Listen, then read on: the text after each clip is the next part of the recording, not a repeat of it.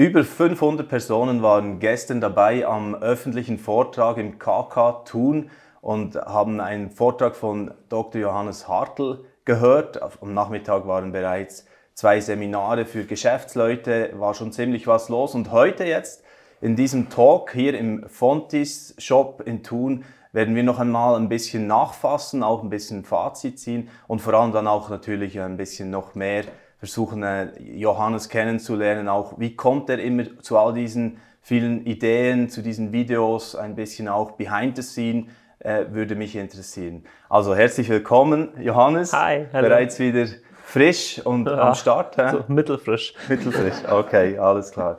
Ja, kurz Fazit zum gestrigen Tag. Wie, wie hast du es erlebt? Ich fand es total wunderbar. Überhaupt, ich genieße jede öffentliche Veranstaltung nach Covid. Also überhaupt wieder da 500 Leute an einem Haufen. Äh, war toll. Ich liebe es, vor so Führungskräften zu sprechen. Das hat nochmal eine besondere Dynamik. Aber dann am Abend war es einfach äh, so toll. Man konnte eine Stecknadel fallen hören. Ja. Hm, das stimmt. Ja, und was war so inhaltlich? Also das Thema war ja Lust auf Zukunft.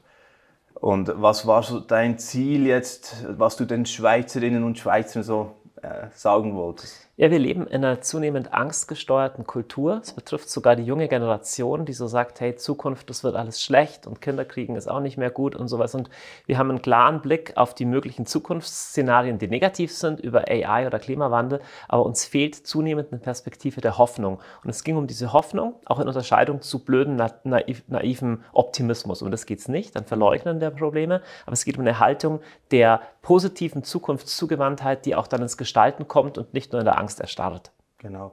Und äh, so der äh, Weg dorthin war ja auch gestern in deinem Referat auch über das Negative eigentlich, was, was von der Gesellschaft kommt, also auch diese Hoffnungslosigkeit. Du hast sogar gesprochen von einem Flirt mit dem Tod oder mit äh, den Gästen und so weiter. Was steckt dort drin? Ja, das ist natürlich mein Urteil oder meine Analyse, dass wenn ich sage, Zukunft wird nur schlecht und sie ist vielleicht sogar so bedrohlich, dass es nicht mal okay mehr sei, Kinder in die Welt zu setzen, oder der Mensch ist so das Krebsgeschwür des Planeten, also der Planet ist gut und die Menschen sind schlecht, ist das im letzten die Aussage, dass menschliches Leben gar nicht erstrebenswert ist. Und das klingt auf den ersten Blick so wie naturwissenschaftlich, aber beim genaueren Blick ist es ja ist es wirklich äh, eine schreckliche Aussage. Ja? Es ist tatsächlich ein Flirt mit dem Nichts, ein Flirt mit dem Tod. Mhm. Und jetzt äh, hast du eben dann auch das Gegenmittel natürlich aufgezeigt und was sind das für Wege, wie man äh, eher ein, sagen wir mal, Hoffnungsmensch sein kann oder was, was da in diese Richtung geht? Ja, es gibt persönliche negative Erfahrungen aus der Vergangenheit, die einen wie zurückkatapultieren können in eine Situation der Lähmung und der Angststarre. Das kennt jeder Mensch. Und wenn wir jetzt in so einer vernetzten Zeit leben, wie wir es nun mal tun, wo praktisch die digitalisierte Aufmerksamkeitsökonomie, also der ganze Betrieb im Internet davon lebt, dass wir Angst bekommen, dann verstärkt das eine sich mit dem anderen. Das heißt, wir brauchen eine Doppelstrategie. Wir brauchen einerseits einen gesunden und vielleicht gesunderen Umgang mit Medien, auch auszuwählen, wie viel ziehe ich mir rein. Und wir brauchen zweitens eine gute Selbstführung im Umgang mit unseren eigenen wunden Punkten. Da habe ich gestern ein bisschen so aufgezeigt, es wurde fast therapeutisch. Also wie kannst du damit damit umgehen, hm, wenn du selber erlebst, da ist ein Element von, von, von Verzweiflung oder von äh, Ohnmacht oder von Angstgefühlen, die in dir drin sind, die immer mal wieder so hochspringen. Das kennt ja jeder. Wie kann man dann gesund damit umgehen? Mhm. Genau, und ich habe natürlich dann noch ein bisschen das Gespräch gesucht, auch mit einigen äh, Besuchern da gestern. Und jemand, der äh, da auf mich zukam, war der Joel Kroh aus Oftringen im Kanton Aargau, junger Mann, äh, der sagte, er übe sich eigentlich ständig in der Tugend der Hoffnung, er sei da irgendwie schon, schon gut unterwegs. Aber was er sich so frage, und das soll ich doch gerne noch äh, nachreichen, diese Frage dann heute, ist, äh, wie man diese Energie dann, ja, diese PS sozusagen auf den Boden bringt. Also wie kann ich das konkret jetzt, äh, ja, ähm, Gestalt, wie kann das Gestalt annehmen? So. Ähm, durch Schritte der Selbstführung und der Disziplin. Ne? Also PS nicht auf die Straße zu bringen, bedeutet, dass ich an irgendeiner Stelle praktisch eine Kluft habe zwischen meinen Vorsätzen und meiner, meiner Performance. Ja? Ähm, man kann es auch mit einem Coach oder mit jemand anderem zu zweit machen, aber es ist eigentlich die Kunst, die großen, tollen Ideen runterzubrechen in kleine, machbare Ziele. Und Ziele sind einzelne Schritte, die man überprüfen kann. Also die Frage ist, äh, also wegen meiner, ich habe jetzt vor, ich will ein sportlicherer Mensch werden, da kann ich so viel Bücher Bücher über Sport lesen, wie ich will und mein Kopf kann sportlich sein, das bringt mir gar nichts, wenn ich nicht anfange. Wenn du mich fragst, Janis, wie willst du sportlicher werden? Und ich sage, mein ganzes Denken ist schon sportlich, dann ist es äh, irgendwie äh, ist ja komisch. Ich muss sagen, hier zweimal die Woche, Dienstag und, und Donnerstag gehe ich jeweils eine Stunde hier ins Gym oder ich gehe joggen. Das heißt, mach deine großen Vorsätze zu einzelnen messbaren, machbaren Zielen, die in deinem Wochenplan vorkommen. Und such dir einen Partner, der dich an der Stelle ein bisschen äh, challenge, der dir am Ende der Woche die unangenehme Frage stellt, und warst du zweimal joggen?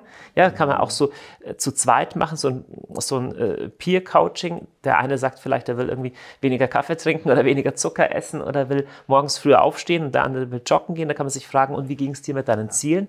Und allein dadurch, dass man Ziele klar definiert und das also aufschreibt und zweitens einen Sparing-Partner hat, allein dadurch steigert die Wahrscheinlichkeit, dass man ein Ziel erreicht, schon um, um 50 oder 60 Prozent. Mhm. Was ich auch sehr cool fand in einem äh, Vortrag, den ich neulich angeschaut habe, da hast du gesprochen von dem Interessenbereich einerseits, also was, was alles interessiert mich eigentlich und, und wo habe ich aber den, dann den Bereich, wo ich wirklich Einfluss ausübe. Sozusagen. Genau. Ich glaube, die Unterscheidung ist von Steve Covey. Also wenn du dir ein großes Blatt Papier vorstellst und da sind alle Themen drauf, die dich interessieren, also da interessiert dich wegen meiner äh, Donald Trump oder äh, die, die seltene Vogelarten in Australien und was deine Nachbarin äh, sagt und so, alle deine Interessensbereiche, dann gibt es einen Teil von diesen Interessensbereichen, die dein Einflussbereich sind. Also das, was du wirklich verändern kannst. Du kannst nicht direkt die, die, die Vögel in Australien verändern und wer nächster US-Präsident wird auch nicht. Aber es gibt manche Sachen, die kannst du verändern. Zum Beispiel, wann du aufstehst, äh, was du mit deinen Worten machst, wofür du dein Geld ausgibst. So, das ist ein kleinerer Bereich. Mhm. meine Theorie ist, wenn wir uns fokussieren auf Dinge außerhalb unseres Einflussbereiches, dann werden wir, oder das ist nicht meine Theorie, die von Steve Covey, dann werden wir äh, uns nirgendwo hin bewegen. Ja? Dann reden wir den ganzen Tag drüber, ja, ich hoffe, der wird Präsident, ne? ich hoffe, der andere wird Präsident ja, kann man ganz, so what, ja. du kannst den ganzen Tag drüber nachdenken, ja. du wirst nichts verändern. Ja. Und wenn du dich dagegen fokussierst auf deinen Einflussbereich, also was kann ich verändern, dann mhm. wächst deine mhm. Selbstwirksamkeit. Ja? Und das ist ja auch bei Problemen, wenn ich sage, in der Arbeit ist so Mist, in der Arbeit ist so blöd, weil der Chef ist so blöd. Ja, kannst den ganzen Tag über den Chef reden, aber du kannst den Chef nicht verändern. Und dann kannst du überlegen, welchen Teil kannst du verändern oder in meiner Ehe oder in meiner Beziehung oder in meinem Verhältnis mit meinen Kindern.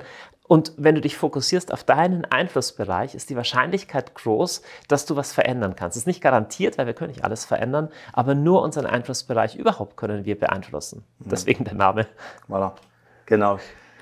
Und also jetzt hier wissen wir, wo die Quelle ist. Okay, der Kavi hast du, hast du Bezug genommen jetzt bei diesem Beispiel, aber sehr viele dieser Konzepte, die entwickelst du ja äh, stark auch selbst dann und, und ich weiß nicht, äh, fallen die dir ein bisschen so in den Schoß manchmal oder, oder hast du da so, so Geistesblitze oder wie, wie kommt das so zustande? Das ist ein Mix. Also ich glaube mir schon auch viel, ich bin auch Jäger und Sammler.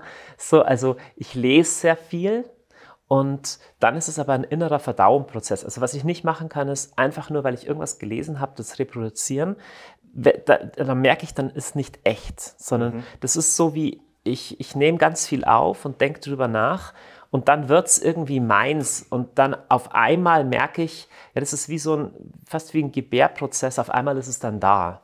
Also ich setze mich nicht hin und grüble, was könnte ich da mir einfallen lassen, sondern ähm, ich verbringe relativ viel Zeit in der Stille, auch im Gebet und ich merke, dass Gedanken, die aus der Stille kommen und aus dem Gebet kommen, die haben eine andere Substanz. Und es sind dann trotzdem oft auch Sachen, die ich auch schon woanders gehört habe. Das ist nicht alles irgendwie von mir und so. Und manchmal sind es aber auch ganz neue Sachen. Und, und, und so wird dann so ein neuer Gedanke draus. Mhm. Wie ich schon gesagt habe, ich, ich möchte ein bisschen noch behind the scene gehen. Also was, hm. was sind so die Wege, die äh, ja, da der Johannes wählt auch und die, die Entscheidungen, wie er die trifft. Jetzt zum Beispiel beim jüngsten Video, das ich gestern Abend auf der Fahrt noch angeschaut habe, Rammstein und Sex und Partys. Also das, das, so das Neue, total aktuell, überall, Social Media ist voll davon. Diese Debatte in Deutschland, aber auch bei uns läuft die ja genauso. Was hat dich jetzt dazu gebracht, hier zu sagen, ja, da gebe ich meinen Senf dazu? Also das war nur der Anlass, über ein generelles Thema zu sprechen, über das ich seit längerem nachdenke.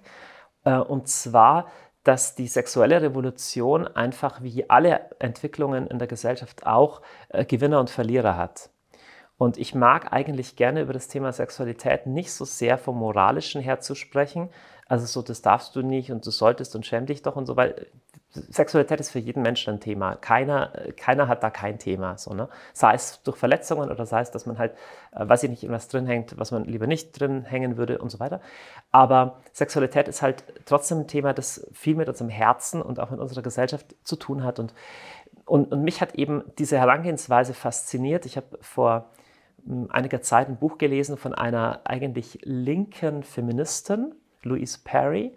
Das Buch heißt The Case Against the Sexual Revolution, also praktisch äh, der Fall sexuelle oder äh, sexuelle Revolution auf dem Prüfstand sozusagen. Und die sagt, von, von, aus einer linken Perspektive heraus, also die ja schaut, wo wird was kapitalisiert, also wo werden Leute ausgebeutet und wo wird was für Geld äh, praktisch äh, vermarktet, äh, wo aber Machtdiskurse dahinter stehen. Das wäre ja so eine linke Theorie. Diese Brille wendet sie an auf die sexuelle Revolution und sagt, was die unter anderem auch gemacht hat, ist, sie hat eigentlich dazu geführt, dass halt Frauen sich einer bestimmten Erwartungshaltung bestimmter Männer anpassen. Ja? Also praktisch wenn ich, wenn ich ein Tinder-Profil aufmache, kann er unterschiedliche, unterschiedliche Ambitionen haben, aber letztendlich vermarkte ich mich äh, wie eine Ware. Und das kann man machen, wenn man das gerne möchte. Das ist nicht meine moralische Kritik jetzt daran, aber ein gesellschaftspolitischer müsste anerkennen, dass sowas auch Verlierer hat, nämlich jene, die sich nicht so gut vermarkten können, weil sie eben nicht so hübsch oder nicht so jung sind, und jene, die höhere Folgekosten von sowas haben. Und Louise Perry sagt, besonders hohe Folgekosten daran haben generell Frauen, mehr als Männer, und besonders nochmal Frauen aus sozial schwächeren Milieus werden komplett zu Opfern dieser Entwicklung. Das ist eine größere Theorie, aber ich mhm. denke seit, weiß ich nicht, seit ein paar Jahren irgendwie über dieses Thema nach, dass es eben an der sexuellen Revolution auch eine genuin politisch linke Kritik gibt. Ja? Äh, und, und dieses Rammstein-Thema, das hat für mich danach geschrien, es auch von der Seite her zu beleuchten. Mhm. Dass wir das natürlich schrecklich finden, wenn in so einer After Showparty junge Mädchen in eine Situation gebracht werden, die, die wirklich unmöglich ist, wo ich nie wollen würde, dass meine Tochter dahin kommt. Aber das ist tatsächlich nur die Spitze des Eisberges, wenn wir eine riesengroße Pornoindustrie haben, die genau sowas ständig zeigt und die weitgehend unkontrolliert für Jungs und natürlich auch für Mädchen ab jüngsten Jahren äh, eigentlich Tag und Nacht nur wenige Klicks entfernt ist. Mhm, und das ist, das ist das eigentliche Problem, das ist der Elefant im Raum. Ja, genau.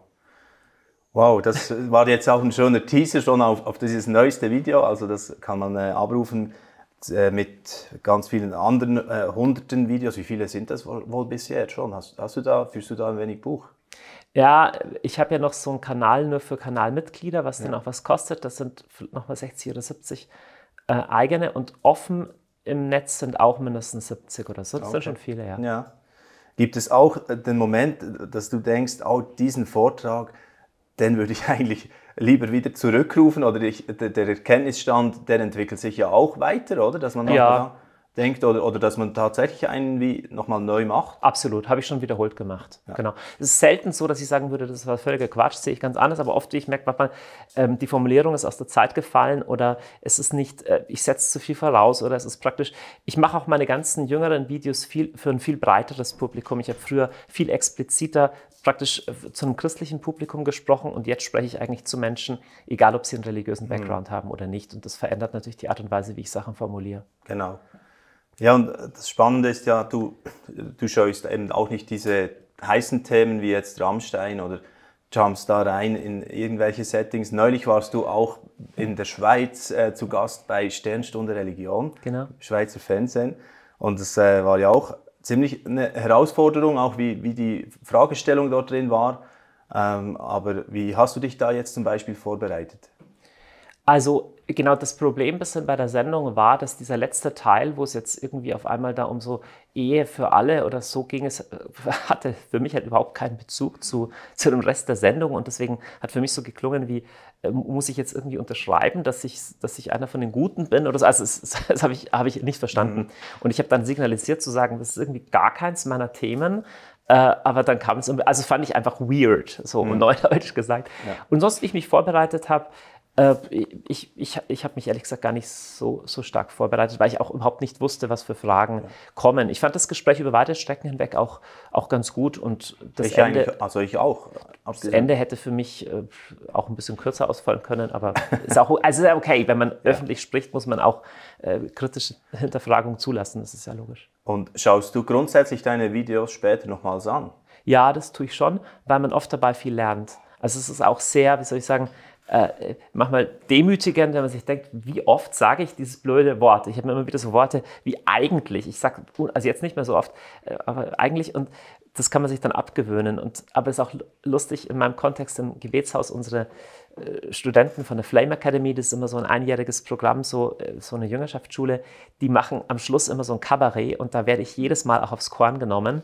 Äh, und dann stellen sie eine Flipchart auf und irgendwelche Blümchen, Sakkos und irgendjemand fasst sich dann ständig an die Brille und sagt, zutiefst. Und im letzten geht es um diese drei Punkte. Und also ich, ich lache dann immer sehr und weiß dann auch wieder, was meine Macken so sind. Und wenn man sich selber ein Video anschaut, dann kann man das vielleicht vorher schon ab. Absolut, ab, ja. Also das, das sind, diese Themen interessieren mich natürlich auch ein bisschen, ja, weil ich selbst dann ja mit dieser Situation auch zu tun habe jetzt, immer mehr mit diesen Videos, aber natürlich andere Zahlen bei unserer äh, Reichweite, die wir haben. Aber trotzdem äh, nehme mich das äh, mega Wunder auch, schaut deine Frau die Videos auch? Ja, ja, und die gibt mir auch Feedback. Und ja. meine Frau äh, gibt mir sehr gutes Feedback. Also auch ähm, sagt mir auch, was sie nicht gut findet. Sehr offen, ja. ja. Super. Aber es sagt mir auch, was sie gut findet, zum Glück. Aber beides. Ich habe nur mal gehört, als Person, die stark in der Öffentlichkeit steht, also es war in einem anderen Buch von ähm, Daniel Zindel, der sagte, eigentlich fällt es mir manchmal leichter, äh, im öffentlichen Setting äh, über Herzthemen zu sprechen und, und so das Tiefe. Das ist auch ein, ein bisschen eine Entlarvung der Männlichkeit, habe hab ich dann gemerkt, auch bei mir, als wenn ich mit meiner Frau spreche direkt oder, oder mit den Kindern. Kennst du das auch? Das geht mir nicht so. Geht dir nicht so? Nein, ich merke eher, jede Bühne und jede Kamera schafft für mich trotzdem ein bisschen eine Distanz. Also ich glaube, ich bin im direkten Gespräch ja. eher nahbarer und wärmer und wirke manchmal im Video auf der Bühne so ein bisschen ähm, kühler oder arroganter. Das bin ich bestimmt trotzdem. Aber im, im, im Vier-Augen-Gespräch ist es für mich eigentlich leichter, noch, noch offener ja, zu sprechen. Vermutlich ein Thema, das recht individuell sein kann. Ja, genau. Ja, genau. genau. Okay, noch Thema Umgang mit Ruhm oder so mit der großen Aufmerksamkeit. Man merkt ja, wenn auch äh, jetzt du in Thun aufgetreten bist, dann das war wie ein Magnet, aber viele Leute, die äh, zu dir wollen oder dich hören wollen. Wie ist das für dich, da den Einfluss zu nutzen, aber trotzdem auf dem Boden zu bleiben? Ja, also erstmal ich überschätze jetzt diese Zahlen nicht. Also, weißt du, Leute, die wirklich, im, ich kenne auch ein paar Leute persönlich, die wirklich im Rampenlicht stehen, wo es wirklich um Millionen oder Hunderttausende geht, ist nochmal eine, eine ganz andere Hausnummer. Also da, da bin ich, da überschätze ich äh, meine Reichweite nicht. Und man darf nicht vergessen, mit dem positiven Feedback kommt ja auch das Negative. Und ich glaube, wenn man nicht so viel Reichweite hat überschätzt man das Positive und denkt, das ist bestimmt toll, wenn dir da 500 Leute applaudieren. Ja, für 500 Leute, die dir applaudieren, schreiben dir aber auch 15 Leute böse E-Mails.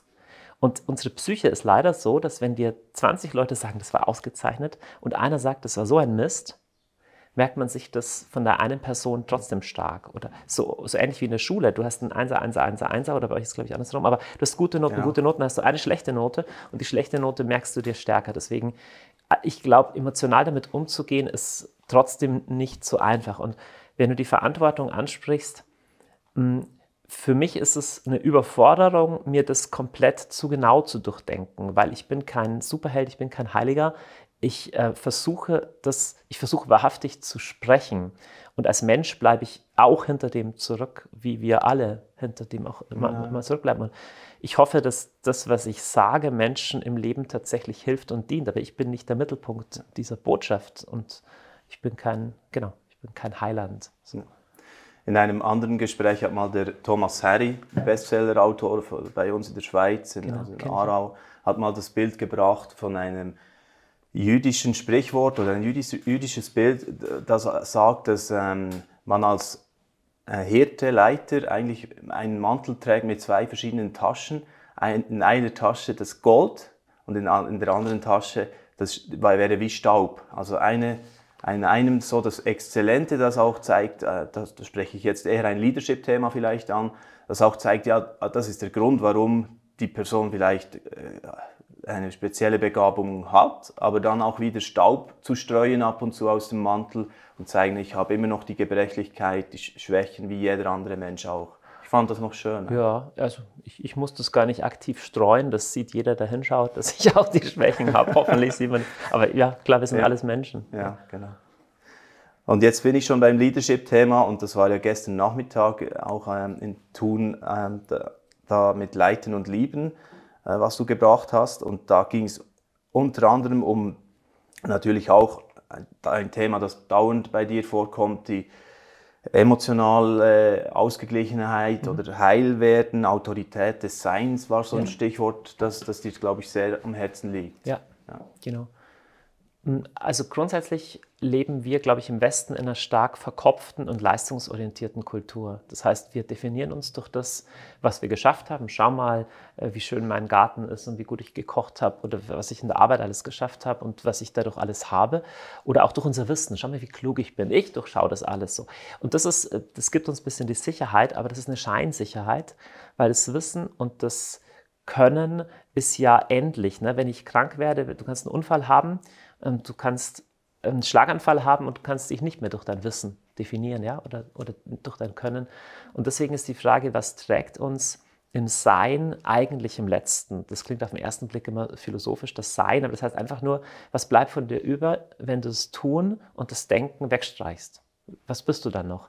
Und wir Menschen spüren, ob jemand intuitiv spüren, ob jemand in seinem Sein was trägt oder ob es nur äußerlich ist. Und ich habe über Designsautorität gesprochen. Das ist, ich mache ein Beispiel. Jeder hatte in der Schule Lehrer, denen er intuitiv vertraut und auch gehorcht hat.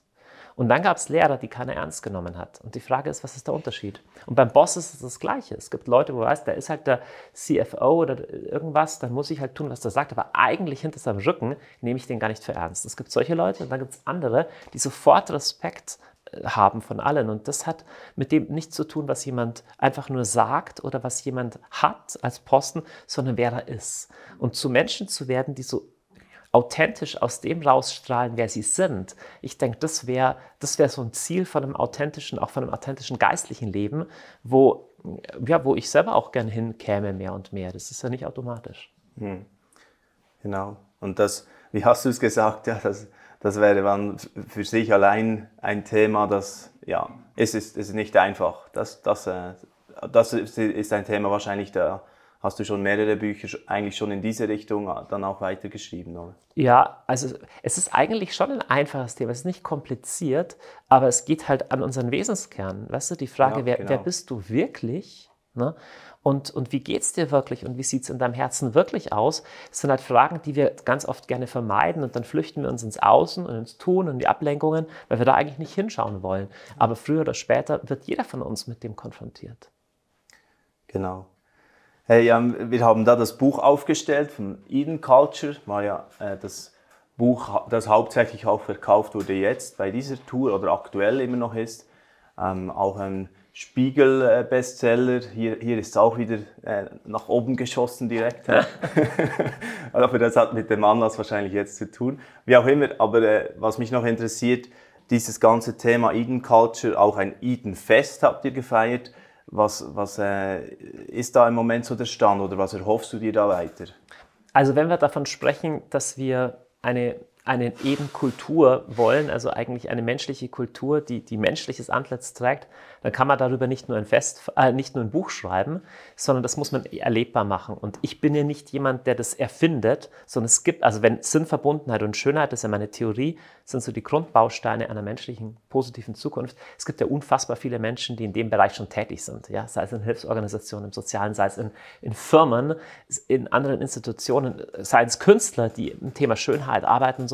Und das Eden Fest war der Versuch, einfach mal ganz viele Leute einzuladen, die das eh schon tun und sich gegenseitig zu, zu inspirieren. Und ich träume letztendlich von einer Bewegung oder von einem Netzwerk von Menschen, die sich verbinden, die sagen, wir glauben nicht, dass dieses negative, dystopische oder dieses rein maschinelle, ja, diese verplante maschinenhafte Zukunft, dass das das Einzige ist, was möglich ist. So ähnlich wie die ökologische Bewegung es geschafft hat, zu sagen, wir wollen nicht eine immer stärkere Industrialisierung, die die Natur kaputt macht, ist total berechtigt, zu sagen, das Gleiche bräuchte es aber, finde ich, für das menschliche Herz auch. Zu sagen, wir sind nicht bereit, jede Form von Fortschritt einfach nur abzuhaken, nur weil es jetzt das neueste, die neueste Sau ist, die durchs Dorf getrieben wird. Zum Beispiel die, dass dreijährige Kinder iPad-Filme anschauen müssen, während sie essen, weil sie sonst sich auf die Nudeln äh, nicht konzentrieren können. So, also es muss möglich sein zu sagen, nein, das ist eine Entwicklung, die wir eigentlich nicht wollen. Das ist nur ein Beispiel von ganz ja, vielen.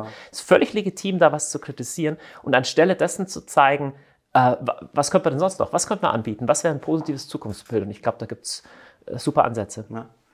Was ich auch spannend fand, und äh, ich meine, hier schließt sich jetzt der Kreis wieder ein bisschen zu dem, was, was eben auch das Lust auf Zukunft-Thema war in deinem Vortrag, dass du gesagt hast, eigentlich glaubst du auch, dass am Ende es diese Leute sind, die wirklich vorangehen, wirklich leiten so. Also die, die, die gerufen werden dafür. Oder? Es ist grundsätzlich so, eigentlich nur Menschen, die auch Hoffnung verkörpern und ausstrahlen, haben langfristigen Impact. Und das trifft sogar auf so ganz dunkle Zeiten zu wie, wie, wie im Dritten Reich. Ja? Also nochmal, ich predige nicht so einen simplen Optimismus, aber es, es waren zum Beispiel die Widerstandszellen im Dritten Reich, die als das Dritte Reich dann zusammengebrochen ist, in Deutschland die Bundesrepublik Deutschland mit aufgebaut haben. Das gleiche in Sowjetreichen oder in den ex-kommunistischen Staaten wie in der Slowakei. Es waren Dissidenten, die gar nicht davon ausgegangen waren, dass der Kommunismus kollabiert, die einfach nur gesagt haben, aus meinem Gewissen, ich kann da nicht mitgehen. Es waren oft genau die gleichen, die als der Kommunismus kollabiert ist, 89, auf einmal in der Position waren, Zukunft gestalten zu können. Ich denke an Lech Wałęsa in, in, in Polen und ähnliche. Das waren Menschen der Hoffnung. Und hm, solche, solche brauchen wir heute auch.